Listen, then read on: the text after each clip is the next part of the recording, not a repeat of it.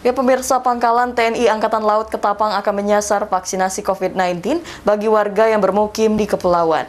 Guna menjangkau lokasi, Lanal Ketapang mengerahkan satu unit kapal TNI Angkatan Laut.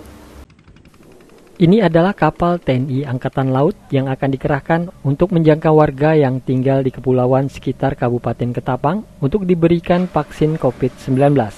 Dan Lanal Ketapang Letkol Laut Abdul Rajab mengatakan Dua pulau yang akan dijangkau seperti Pulau Cempedak dan Pulau Bawal yang berada di sekitar Kendawangan. Dan kita juga menghadirkan ini ada kapal angkatan laut untuk mendukung. Jadi kapal ini nanti akan mendukung yang wilayah pulau. Oh, wilayah pulau. Jadi untuk Ketapang sendiri ada dua pulau.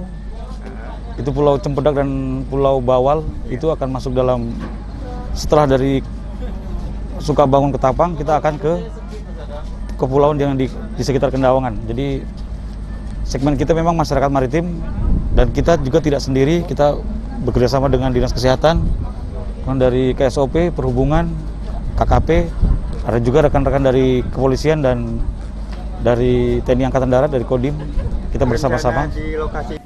Sementara itu, Dinas Kesehatan memastikan kasus COVID-19 di Ketapang masih terkendali. Sampai saat ini karena kita melakukan 3T-nya, uh, termasuk dengan paskes-paskes kita yang ada di kecamatan, sehingga kasus-kasus COVID itu masih dapat terkendali.